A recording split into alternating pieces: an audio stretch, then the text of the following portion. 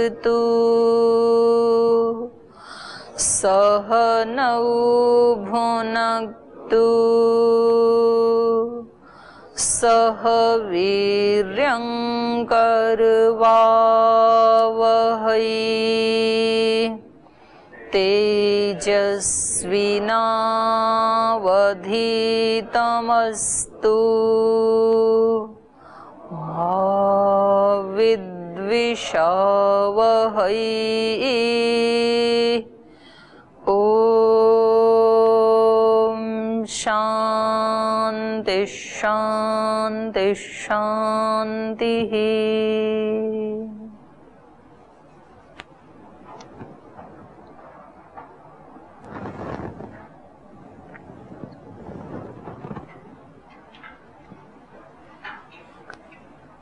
पुरुषोत्तम योग पंद्रहवें अध्याय में पढ़ रहे थे। तो यहाँ सृष्टि और ईश्वर दोनों का एक ही साथ स्वरूप बता रहे हैं। एक वृक्ष के रूप में कल्पना की है।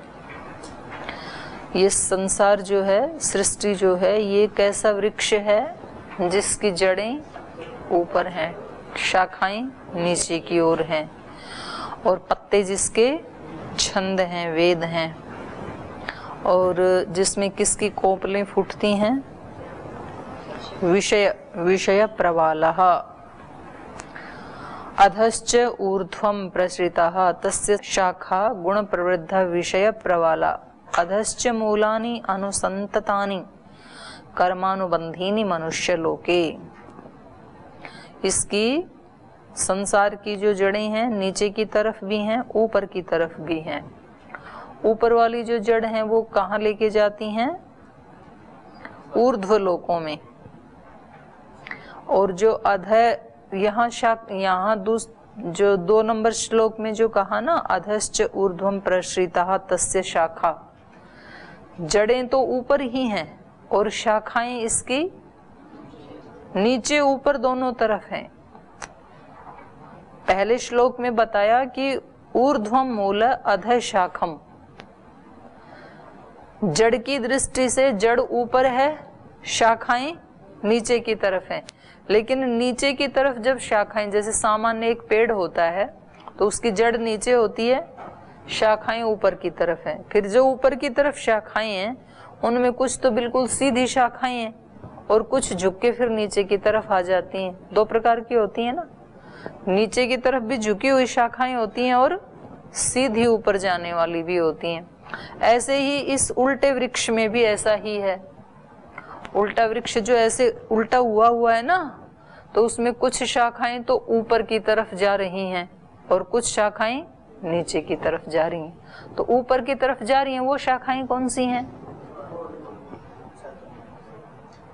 ऊपर की तरफ़ जो शाखाएँ जा रही हैं, वो कौन सी शाखाएँ हैं? शुभ कर्म। और जो नीचे की तरफ़ शाखाएँ जा रही हैं, वो कौन सी हैं?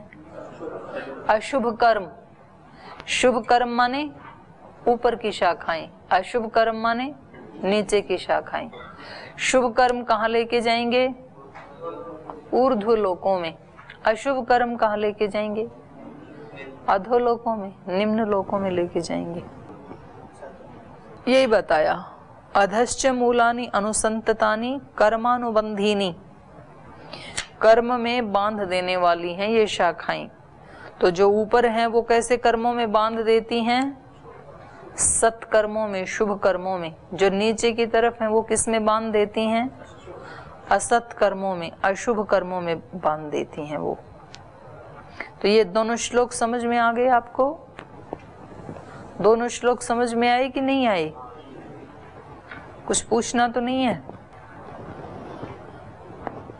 जो ये वृक्ष बताया, इसका एक तो सृष्टि पर अर्थ हो गया कि इसकी जड़ कहाँ है? ब्रह्म है। और इसका विस्तार क्या है? ये सारा संसार है। दूसरा इसका अर्थ होगा प्रकृति परक। प्रकृति में जो सत्वर स्तंभ है, वो इसकी जड़ है तो वो ऊपर की तरफ़ है तीनों। और नीचे का सारा विस्तार है वो इसकी शाखाएँ हैं। त्रिगुण से सबसे पहले क्या बना? महतत्व। महतत्व से अहंकार। तो ये दो मेन तने, मेन तना होता है ना एक किसी पेड़ का। तो महतत्व और अहंकार ये मुख्य तना बन गया। और फिर उससे शाखाएँ निकल गई। इधर पाँच तन मात्राएँ इधर ग्यारह इंद्रियाँ। फिर पाँच तन मात्राओं से भी पाँच स्थूल भूत तो ये वृक्ष ऐसा है, उसकी जड़ ऊपर है। तो ये हो गया प्रकृति परक अर्थ। तीसरा है पिंड परक, शरीर परक अर्थ। शरीर में जो हमारा सिर है, ये जड़ है इसकी, क्योंकि पूरा का पूरा शरीर जो है वो कंट्रोल कहाँ से होता है? मस्तिष्क से होता है। तो ये जड़ है, ये रूट है, ये मूल है। जैसे सारा संसार किससे कंट्रोल होता है? ब्रह्म से। तो ब्रह्म क्या है? जड़। पिंड में ब्रह्म जड़ है। सॉरी ब्रह्मांड में। और पिंड में हमारा मस्तिष्क, हमारा सिर जड़ है। तो ये सबसे ऊपर की तरफ़ है जड़ हमारा, पिंड में। ये जड़ है सिर। और नीचे फिर शाखाएँ, प्रशाखाएँ हैं उसकी। जो भी नव सिस्टम है, और हाथ पैर आदि जो इंद्रियाँ हैं तो पूरा शरीर उस वृक्ष, मानो ये उल्टा वृक्ष है। हमारा जो पिंड है, ये उल्टा वृक्ष है। और जैसे उसमें वहाँ चारों वेद उसके पत्ते हैं, ऐसे शरीर में ज्ञान हमारा इसकी शोभा है, पत्ते हैं वृक्ष की। सभी इंद्रियों से संबंधित ज्ञान। और विषयों की इसमें कोपलें फूटती रहती हैं। तो ये वृक्ष समझ में आ गया? तीनों दृष्टि से हाँ। मैं मैं तत्व क्या? तना है उसका। महतत्व अहंकार, सब उसी के ही शाखाएँ, प्रशाखाएँ हैं, मुख्य शाखाएँ, गौण शाखाएँ। ठीक है?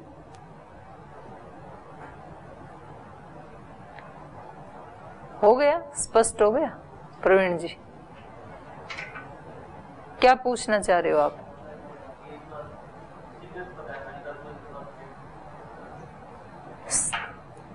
सबसे पहले महतत्व, फिर अहंकार, फिर पंच तन्मात्राएँ फिर एकादश इंद्रियाँ, फिर पाँच भूत। ये तो कई बार बताया मैंने डायग्राम बना के बोर्ड के ऊपर।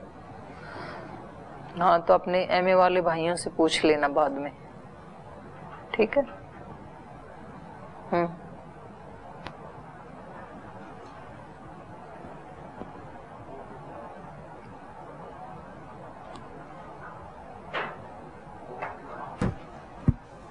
जैसे जो पंद्रह अध्याय में जो पंद्रह अध्याय है अरे पंद्रहवा क्या हाँ हाँ पंद्रह चौदह अध्याय में। हम्म। चौदह अध्याय में जैसे सत्व बढ़ाने के लिए और गुणातीत होने के लिए जैसे बताया गया था तो उसमें एक तो व्यक्ति मंत्रोच्चार करता है और एक खाली मन में जो हमारे जो भावनाएँ रहती है जो भावना खाली प्रदर्शित करना मतलब जो भी हमारे मन में भावना है ईश्वर के प्रति जैसे कि जो हमें लगा अच्छा लगा। तो हे परमात्मा, ये सब तुझे समर्पित है। और एक व्यक्ति जैसे कि गायत्री मंत्र है, महामृत्युंजय मंत्र है, अन्य किसी मंत्र का उच्चारण करता है। तो दोनों में से अच्छा मतलब सर्वश्रेष्ठ कौन सा है? श्रेष्ठ कई बार है ना, कर्मों से नहीं होता है, भावों से होता है। और इसमें कोई, पहले ये तो गीता में प्रश्न पूछा था कि ज्ञान योग श्रेष्ठ है कि कर्म योग श्रेष्ठ है। तो श्रेष्ठ सारे ही श्रेष्ठ ही हैं। और हमें ये होड़ भी नहीं करनी है, ये कंपटीशन नहीं करना है कि पड़ोसी वाले से मेरे वाला योग श्रेष्ठ होना चाहिए। आत्मस्पर्धा में कल मेरी जो स्थिति थी, उससे आज मेरी स्थिति ज़्यादा अच्छी होनी चाहिए। तो फिर दूसरे को देखने की हमारे पास टाइम भी नहीं रहेगा कि कौन से का अच्छा है। और अपने को ज़्यादा ये चिंता भी नहीं करनी है कि इस वाला कहीं ज़्यादा श्रेष्ठ तो नहीं है, कहीं मैं कर तो रहा हूँ, कहीं मैं कम श्रेष्ठ हूँ, कहीं मेरा थोड़ा हो तो मैं भी मंत्रोच्चारण में लगूं। या मंत्रोच्चारण वाला सोचे कि ये तो काम में लगे हुए हैं, बस कर्म करते रहते हैं, इनका कैसे उद्धार होगा? मैं श्रेष्ठ हूँ। तो इन भावों में ना उलझ करके ये सारे त्रिगुण के ही विकार हैं। हमें अपने चित्त की स्थिति को, एक आत्मस्पर्धा की स्थिति में रहते हुए उसको निरंतर उत्कृष्ट करने का प्रयास करना चाहिए। ये प्रश्न ही गलत है कि जी मंत्रोच्चारण ज़्यादा अच्छा है कि काम करना ज़्यादा अच्छा है या अपने शब्दों में प्रार्थना करना ज़्यादा अच्छा है? ये प्रश्न ही गलत है। सब अच्छा है। अगर मैं कहूँ कि अपने शब्दों में प्रार्थना करना अच्छा है तो इसका मतलब मंत्रोच्चारण का गलत ठहरा दिया। यदि मैं कहूँ कि मंत्रोच्चारण करना ही ठीक है तो उसकी कोई कीमत ही नहीं है। तो बाह्य जो क्रियाएँ हैं या कर्म कांड हैं, वो गौण होते हैं। हमारी आंतरिक अभिप्सा ही मुख्य होती है। तीनों मार्ग जो है ना, वो वहीं लेकर के जाते हैं। ज्ञान मार्ग भी, भक्ति मार्ग भी और कर्म योग भी। और भक्ति जो है ना, वो भक्ति और कुछ भी नहीं है। ज्ञान का ही उत्कृष्ट रूप है भक्ति। बाहर से देखने में व्यक्ति को ये लगता है कि भक्ति का मतलब है जिनके अंदर ज्ञान नहीं है। ज्ञान का शिखर ही भक्ति है। जिस व्यक्ति का ज्ञान इतना ज़्यादा बढ़ जाएगा तो वो फिर अपने हर काम को ही क्या बना लेगा? भगवान की पूजा बना लेगा। वो ही भक्ति है। तो हर कर्म को पूजा बनाना ये ज्ञान के बिना सिद्ध नहीं हो सकता है। नहीं तो व्यक्ति के अंदर ज्ञान नहीं है तो पूजा को भी एक रिचुअल बना देगा, एक कर्म कांड बना देगा वो। वो बाहर से भक्ति जिसको कहते हैं, वो भी उसके लिए एक कर्म से ज़्यादा कुछ नहीं है। बना ही रखा है लोगों ने ऐसे। उन्होंने अपने दस मिनट तय कर रखे हैं कि ऑफ़िस से जाने से पहले दस मिनट हमें टाइम देना है भगवान जी को। तो उसमें वो जल्दी जल्दी दीपक भी जला देते हैं, घंटी भी बजा देते हैं, साथ में मोबाइल के व्हाट्सअप भी चेक कर लेते हैं, किसी का फ़ोन आए तो फ़ोन भी सुन लेते हैं। और बाहर कोई दरवाजे के ऊपर खड़ा है तो बच्चे को इशारा करके उसको बिठाने के लिए भी बोल देते हैं और दस मिनट के बाद हाथ जोड़ के चले भी जाते हैं।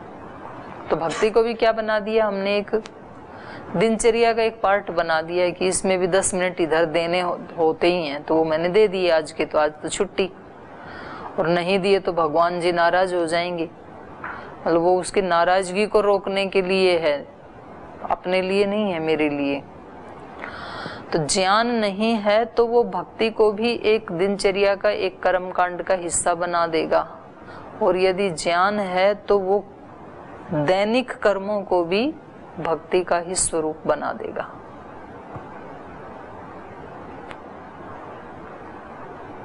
चलो आगे। हाँ। अभी क्या रह गया इनका, प्रवीण जी का?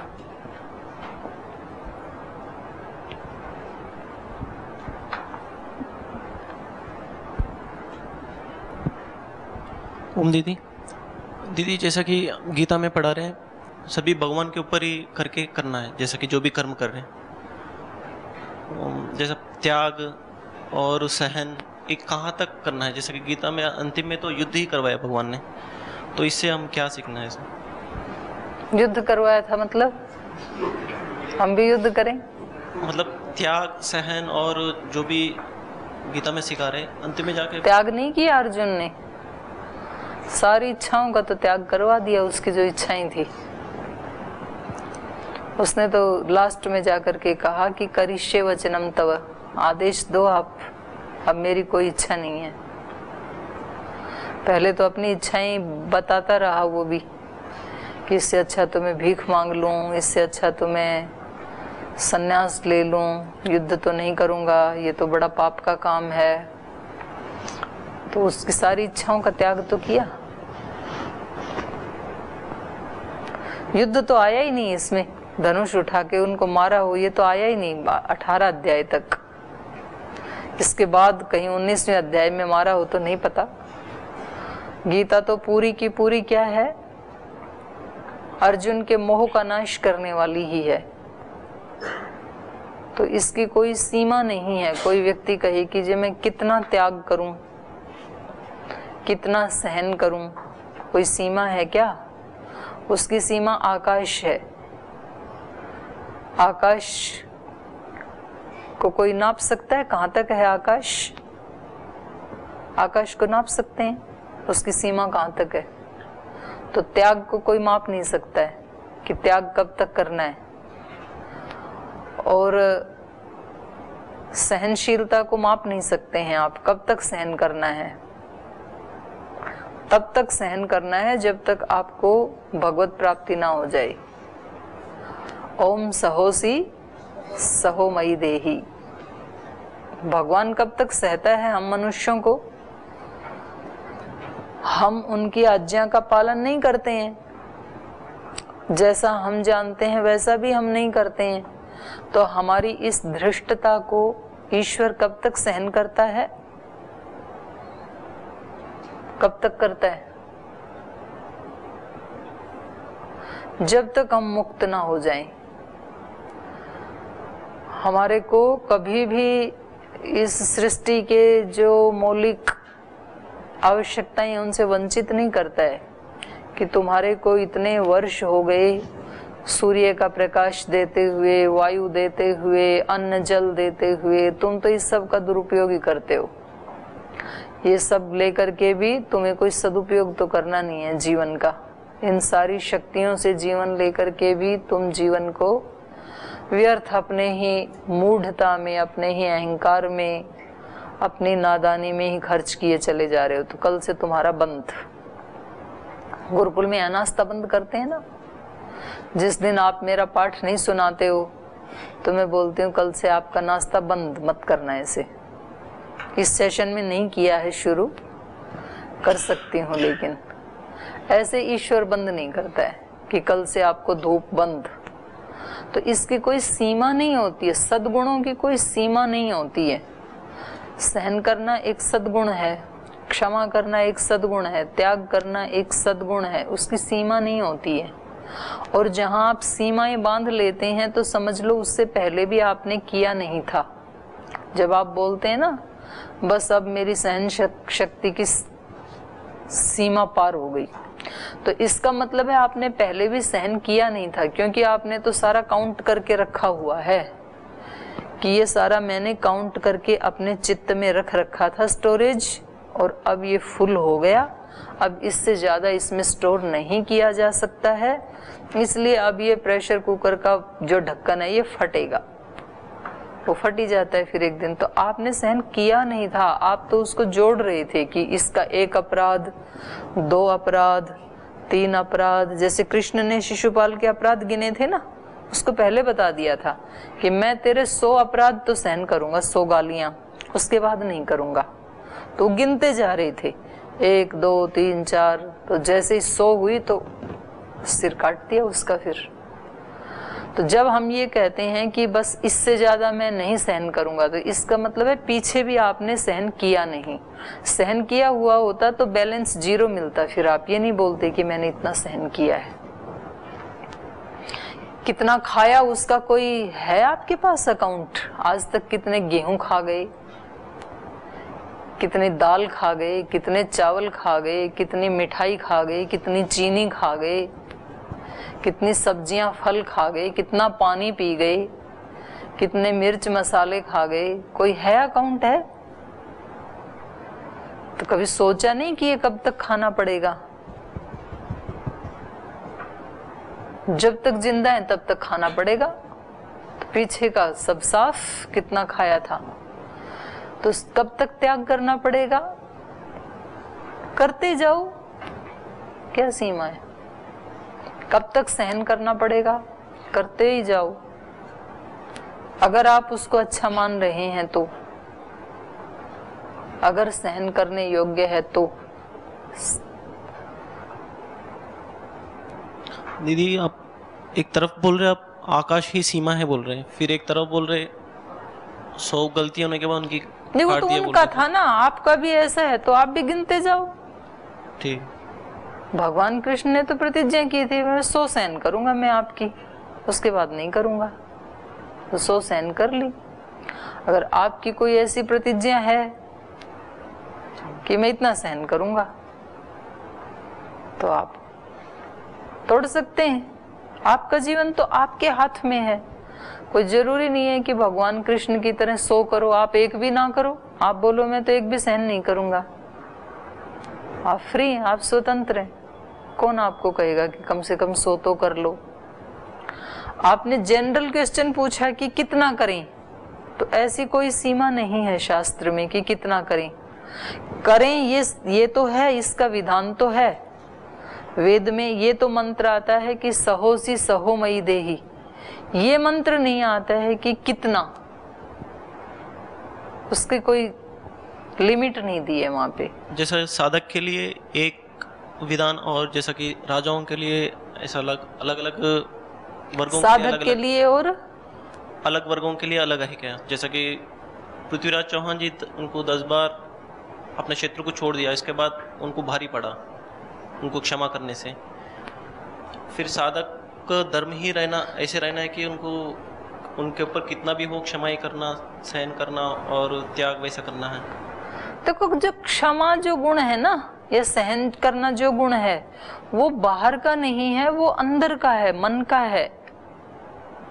हम किसी को कितना सहन कर रहे हैं, जैसे मान लो आप कक्षा में कोई अपराध कर रहे हैं, और मैं आपको कुछ भी नहीं कह रही हूँ तो ज़रूरी नहीं है कि मैं आपको सहन कर रही हूँ।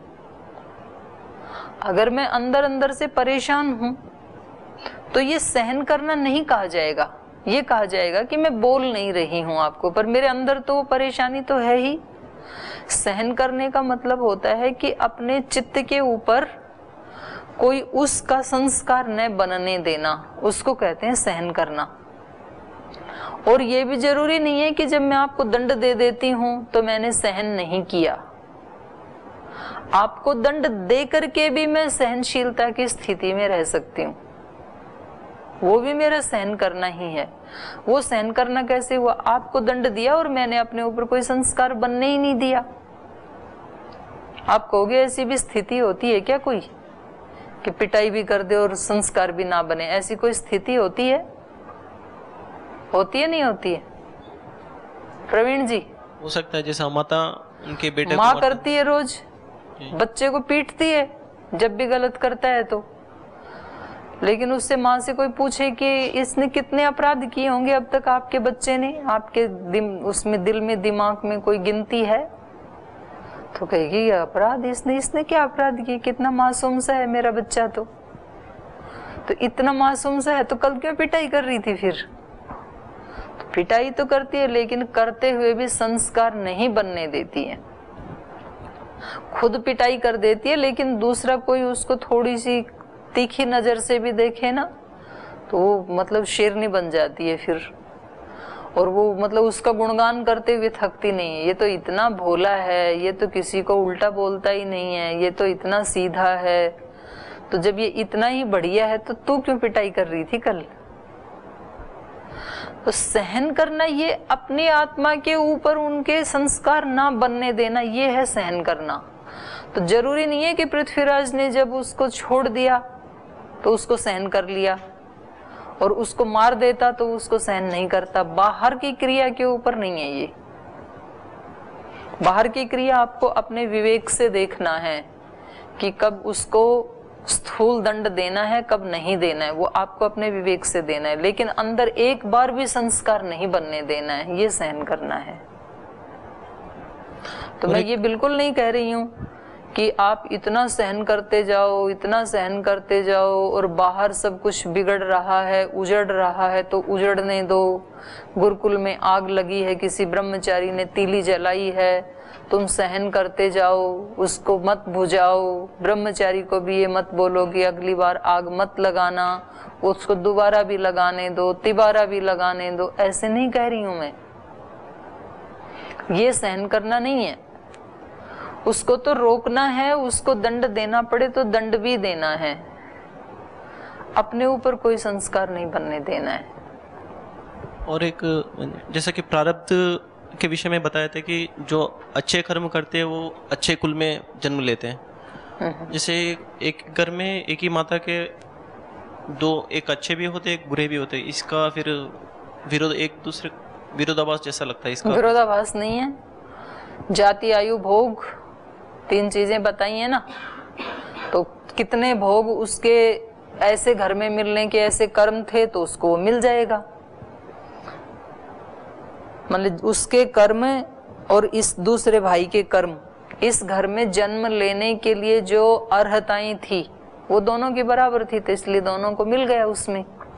अब आगे भोग भी दोनों को बराबर मिलेगा, ये ज़रूरी नहीं है। और यदि दोनों के कर्म एक जैसे हों तो एक सीमा तक भोग भी बराबर मिल जाएँगे। तो सबके अलग अलग कर्म हैं तो उसके अनुसार कभी जाति अच्छी मिल जाती है, जाति का मतलब शरीर। ब्राह्मण क्षत्रिय नहीं, जाति का मतलब मनुष्य जाति, वृक्ष जाति, पशु जाति ऐसे। तो कभी अच्छी जाति में पैदा होने वाले कर्म जो हैं, वो तो अच्छे थे हमारे।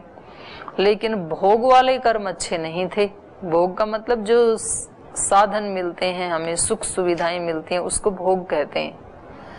किसी व्यक्ति को जाति तो मनुष्य की मिल गई, लेकिन भोग उसको बिल्कुल भी नहीं मिलते, भूखे मरते हैं। ना खाने के लिए अन्न है, ना पहनने के लिए कपड़े हैं, न रहने के लिए छत है। कुछ ऐसे हैं, उनके जाति वाले कर्म तो वीक थे, इसलिए जाति तो कुत्ते की मिल गई। लेकिन भोग वाले कर्म बहुत अच्छे थे। इसलिए कुत्ते की जाति में भी अच्छे मकान में रहता है अच्छा खाना मिलता है दूध मिलता है प्योर दूध मिलता है मांस मिलता है अंडा मिलता है खूब सुख सुविधाएँ मिलती हैं। तो अलग अलग कर्म का अलग अलग मिलता है। और एक जड़ और चेतन का इसका थोड़ा भी समझा दीजिए। जैसा कि बताते हुए जो वृक्ष है?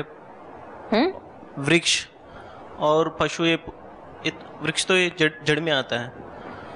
बोलते कि मनुष्य तो सबसे श्रेष्ठ फिर भी अपन जड़ और अन्य चीज़ों में प्रकृति के ऊपर निर्भर होके हम जीना होता।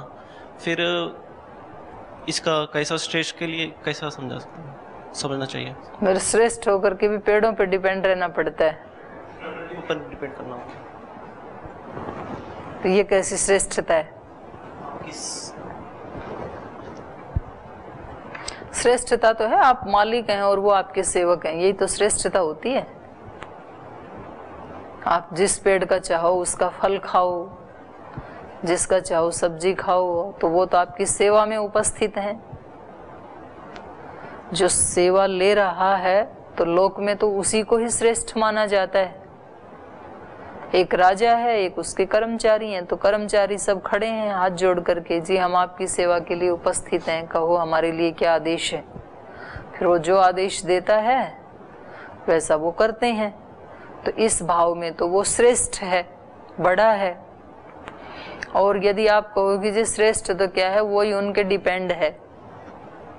तो इस अर्थ में वो श्रेष्ठ नहीं है। तो ये तो आप उनकी क्यों बात कर रहे हो? वृक्षों की और पशुओं की। आ, ये तो अपनी इंद्रियों के ऊपर भी है। ये जो आत्मा है, ये है तो इंद्रियों का मालिक। अगर ये मालिक भाव से रहे तो सारी इंद्रियाँ उसके सामने हाथ जोड़ के खड़ी होंगी। आँख, नाक, कान, मन, बुद्धि, प्राण सब। जी बताइए, हम आपके लिए क्या काम करें? आप बोलो कि पाँचों दर्शन याद करो और वो याद कर दे। तब तो इस भाव में तो श्रेष्ठता है आपकी। और आपका मन कहे नहीं मेरे को याद मेरे से नहीं हो पाएगा याद। चलो वहाँ चलते हैं मोटरसाइकिल लेके हरिद्वार। बोल देते हैं कुछ सामान लेने गए थे और आप बाइक लेके चल पड़े। तो इस अर्थ में आप डिपेंड हैं अपने मन के अपनी इंद्रियों के। गुलाम हैं आप। तो, तो आपके ऊपर निर्भर करता है कि आप उस सारी सृष्टि का डिपेंड होकर के प्रयोग कर रहे हैं या राजा होकर के कर रहे हैं।